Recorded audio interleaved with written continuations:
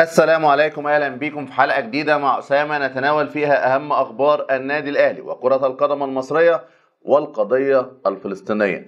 الآن لا وجود لعزل ما بين الرياضة والسياسة بل إن هذه ليست سياسة هي قضية إنسانية في المقام الأول بشوفها من وجهة نظري قضية كل إنسان حر على سطح هذا الكوكب.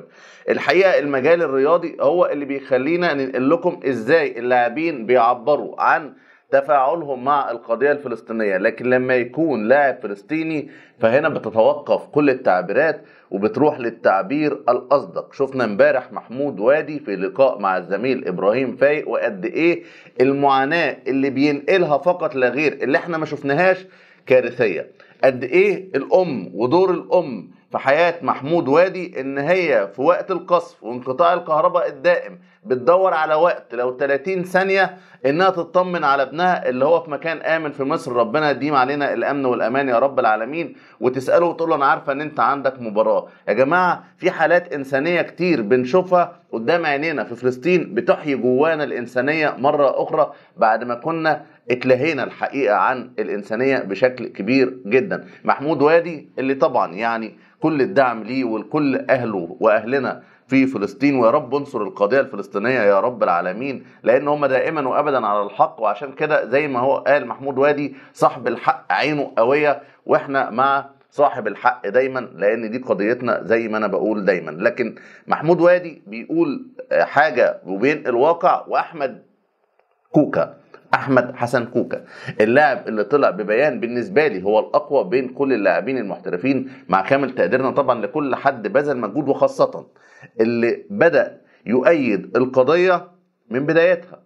مش مع الهوجة اللي حصلت الأخيرة دي اللي كله بقى بايه بينزل إيه يثبت حضور يعني. خليني أقول لك كوكا وجه رسالة للعرب أيضا والحكام العرب وهو حالم بالتأكيد ونحن نحلم أيضا. قال إيه؟ قال بنصحى كل يوم نروح شغلنا مجبرين عشان أهالينا وأولادنا اللي المسؤولين عنهم وقلوبنا فيها ألم ووجع على أحبابنا وإخواتنا في فلسطين. في كل ثانية بتمر خبر جديد أبشع من اللي قبله. بنتصور إن خلاص مفيش أوحش من كده. ممكن يحصل بس ما, بن... ما بنستناش كتير ونلاقي اللي أبشع منه. أعتقد إن بعد ما قصفت المحتل المستشفى والمدرسة والكنيسة وكل شيء محرم ضاربه بالقوانين الدولية عرض الحائط بدأت بدأت بعض الناس تستوعب أن ليس لديهم قلب ولا رحمة. بدأت تتغير الآراء لأن بجد صعب جدا أن يقف شخص في صف كل الشيطانية دي. أب بيشيل عياله أو أعضاء من عياله في كيس بلاستيك. أجسام من غير رؤوس. كل الوحشية دي ولسه مفيش حاجة توقفهم لحد اللحظة دي وبرغم قساوة كل اللي فات ولسه كتير من المجتمع الغربي لا يستنكر أصلا اللي بيحصل. خلاص كلام بلغتهم ملوش لازمة عشان كل حاجة واضحة. يعني الراجل قال لك حتى الكلام بلغتهم ما بقاش له لازمة. ليه إحنا بقى هنا كعرب ما نتحدش؟ أنتم متخيلين قوة كل دولة عربية؟ أنتم متخيلين لو كل الدول العربية تصدوا لأي عدوان على أي دولة عربية ممكن تكون فيها أبعاد سياسية تانية أنا مش فاهمها. وممكن كمان يكون تخيلي ده قاصر. لكن اللي أعرفه إن الاتحاد قوة والقوة والقوي هو اللي بيتعمل له حساب. لا أنت مش تفكيرك قاصر ولا تخيلك قاصر. لكن في بالتأكيد أبعاد سياسية أخرى في موائمات في تطبيع في انبطاح في بيع للقضية في كل حاجة ممكن تقولها قولها. وبالتالي فكرة اتحاد العرب هو مش حلم هو اعلى من الحلم هو لدرجة الخيال الحقيقة. وده اللي أنا نشدت بيه من الأول. هو إحنا ليه بنوجه رسالتنا للغرب؟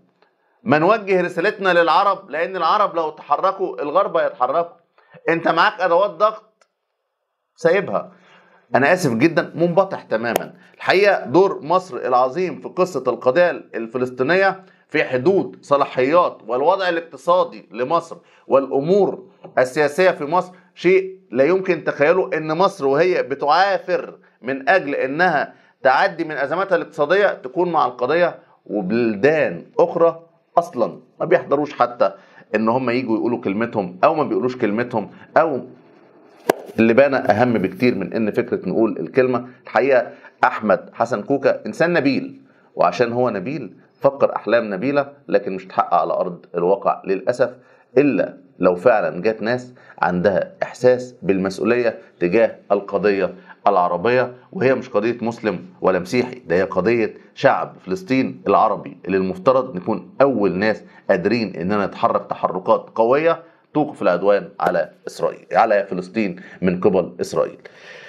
ده بالنسبة لأحمد حسن كوكا. لكن الحقيقة يعني بشكر جدا كل الناس اللي بتتفاعل مع المنبر ده وبتبعت توصل صوتها ورسالتها من خلال المنبر ده. بشكر جدا الناس اللي واثقة في أحمد أسامة إن هو قادر إن هو يوصل صوتهم حتى لو من خلال منبر متواضع زي قناتي على اليوتيوب.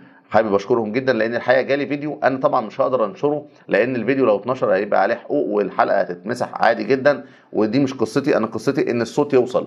الكيان المحتل الصهيوني بيصور فيديوهات وبيدعي فيها قتل أطفال واللقطات واضحة وتم تسريبها ونزلت على وسائل التواصل الاجتماعي. وطبعا وسائل التواصل الاجتماعي اللي زي فيسبوك وزي انستجرام بتحارب بشكل كبير جدا. أي حاجة تكشف التضليل الإعلامي الشديد. والحقيقة المعتدي أو المحتل وصل من القذارة لأدنى أدنى درجات القذارة إن هو كمان يجيب أطفال ويصورهم. يعني جبت ناس وقفتهم في المطار وحسستهم ان هم مرعوبين وبعد كده بنشوف القصة إنها تمثيلية وإنها مصورة من أجل استعطاف المجتمع الغربي. وإنت هنا بتخاطب الشعوب مش بتكلم عن السياسات ولا الدول الغربية لأن هم عارفين كويس قوي إنت بتعمل إيه وبيساعدوا على التضليل معاك وبيحاربوا أي حد يقول كلمة حق وعادي جدا. لكن إنت بتخاطب الشعوب. بس أنا عاوز أقول لك إن إكس أو تويتر حتى الآن هو المنفذ العربي الوحيد الذي يسمح الآن بأن الصورة توصل كاملة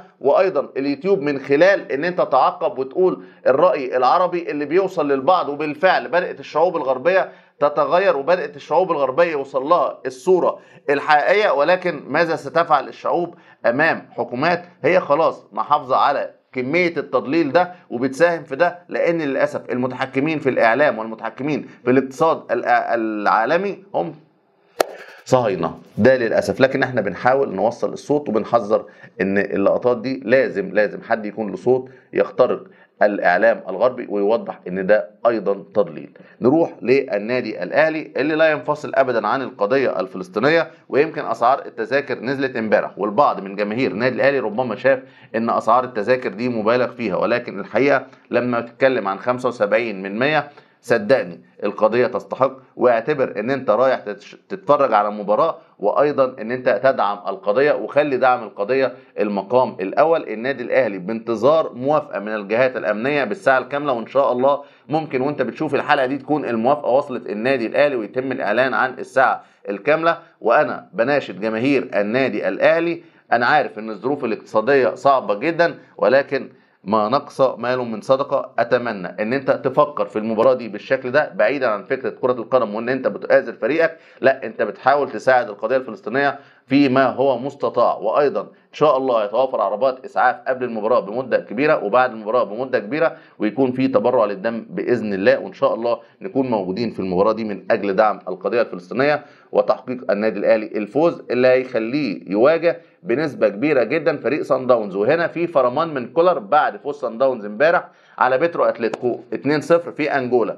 كولر رافض تماما الحديث عن مواجهة سان داونز إلا بعد اجتياز فريق سيمبا التنزاني وده شغل كولر الاحترافي إن هو لازم يضمن بطاقة التأهل في إيديه الأول وبعد كده يفكر في مباراة سان داونز ولكن أنا حابب أقول إن عدم تكافؤ الفرص هيخلينا نفكر وهنا لمجلس إدارة النادي الأهلي إزاي بعيدا عن فكرة كولر إزاي أوفر الطيارة الخاصة تاني يوم مباراة سيمبا بالظبط وأكون في جنوب أفريقيا لأسباب متعلقة إن مباراة العودة لصن داونز مع بيترو أتلتيكو هتكون في جنوب أفريقيا وبالتالي في أفضلية لصن داونز إن هو هيكون منتظر النادي الأهلي في جنوب أفريقيا. هتقول لي يا عم في مباراة العودة. هقول لك ده هيرجع مع النادي الأهلي في مباراة العودة لأنك إن شاء الله بعد تخطي عقبة سيمبا والصعود هتلعب يوم الأربع يوم الأحد ويوم الأربع. فأنت هتلعب يوم الأحد هيرجع معاك على الطيارة. فما بقاش في أفضلية ليك عليه في إنك تلعب مباراة العودة في إنك مرتاح قبلها أو إن أنت منتظر قبلها. لكن هو له أفضلية لأن هو خلاص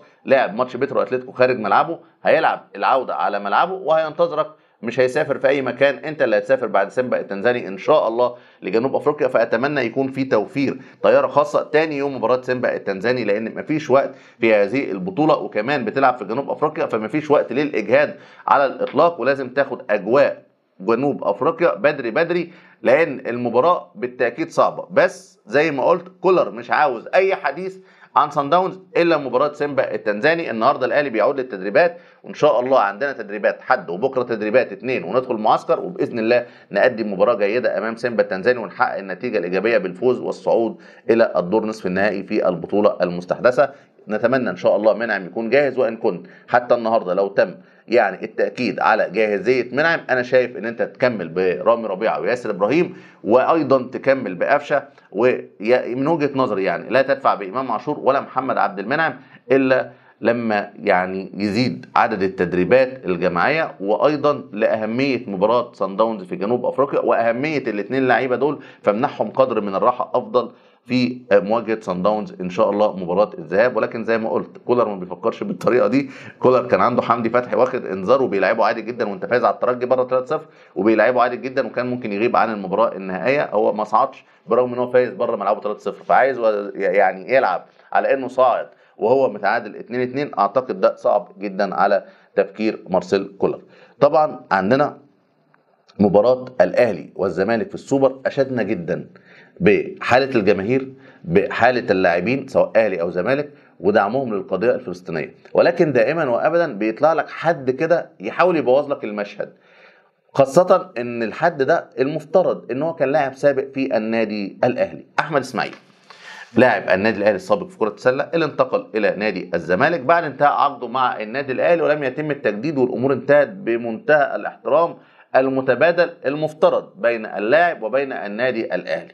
راح اللاعب لعب مع نادي الزمالك بطولة السوبر أمام النادي الأهلي. النادي الأهلي كان متأخر في النتيجة الشوط الأول والشوط الفترة الأولى والفترة الثانية والفترة الثالثة والأهلي تقدم فقط لا غير في آخر ثلاث دقائق فالطبيعي إن أنت تبقى فاهم كويس قوي إن هناك تقصير حصل من نادي الزمالك وهناك ردة فعل قوية وريمونتادا قوية من النادي الأهلي حققت البطولة. يطلع أحمد إسماعيل يقول إيه؟ يقول النهارده كنا بنلاعب الأهلي والحكام.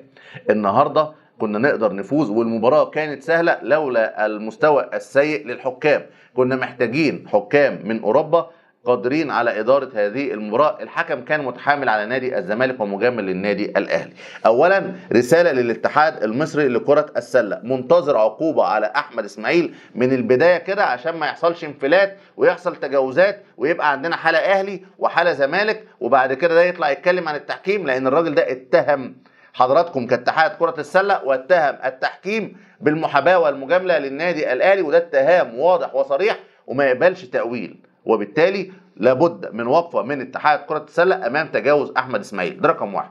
رقم اثنين على أي أساس كابتن أحمد إسماعيل المباراة سهلة؟ هو حضرتك لسه مفكر نفسك بتلعب بيه تيشرت النادي الأهلي أمام نادي الزمالك؟ أنت تعرف إن النادي الأهلي مع جوست بيفوز 15 مباراة على التوالي. على نادي الزمالك جبت السهولة منين؟ وجبت ثقتك في الفوز منين؟ ورحت لسكة التحكيم. ده رقم اثنين رقم ثلاثة هو حضرتك ما كنتش شايف كويس قوي وأنت متواجد في فريق النادي الأهلي؟ إزاي النادي الأهلي بيقدر يحقق بطولات ويكتسح كل البطولات؟ هل فجأة كده تذكرت إن الأهلي ممكن يتم مساعدته من خلال التحكيم في مباراة انت كنت أصلا متسيد فيها.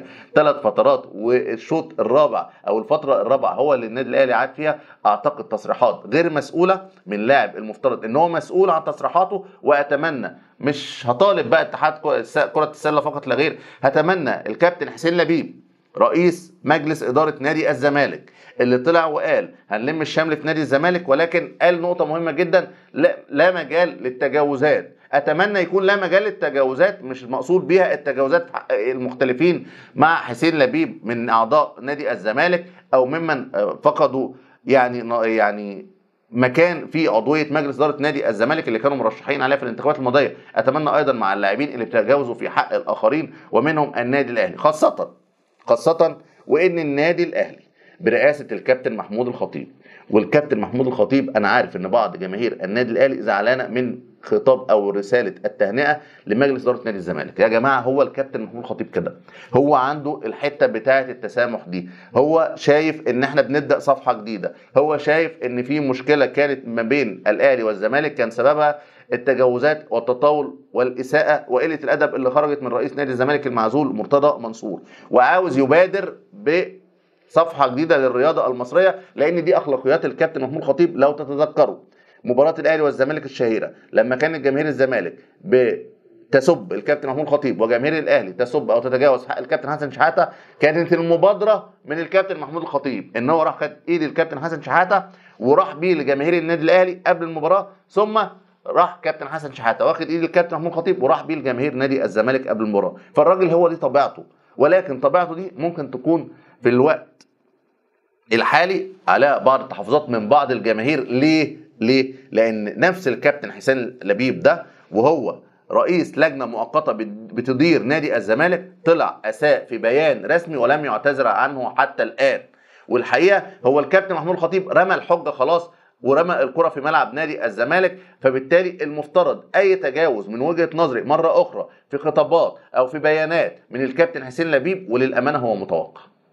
أنا بقول لكم هو متوقع. لابد إن يكون بقى رد قوي جدا من مجلس إدارة النادي الأهلي. لأن أنت خلاص يعني بطلت له حججه أنا واحد من الناس أنا كنت محتاج إن نادي الزمالك يقدم اعتذار وحسين لبيب يقدم اعتذار على بيان السوقة والعوام وأنصاف المسؤولين. مش النادي الأهلي ابدا اللي يتقال على مجلس إدارته أنصاف مسؤولين ولا جماهير النادي الأهلي يتقال عليهم سوقة وعوام لأن الحقيقة اللي بيحصل ده كان بيحصل في نادي الزمالك. ولكن قرار من مجلس إدارة النادي الأهلي ببدء صفحة جديدة وفترة رياضية جديدة مع نادي الزمالك يكون فيها الاحترام هو السائد النادي الأهلي كده من وجهة نظري عمل اللي عليه وزيادة. أنا بالنسبة لي كنت أتمنى اعتذار حسين لبيب وما زلت منتظر حسين لبيب لأن أنا مش قادر الحقيقة أتجاوز ولا أنسى البيان اللي خرج من لجنة حسين لبيب بتسيء لمجلس إدارة النادي الأهلي وتسيء لجماهير النادي الأهلي دون صدور أي اعتذار من مجلس حسين لبيب. ده وجهة نظري ولكن هذه وجهة نظر مجلس إدارة النادي الأهلي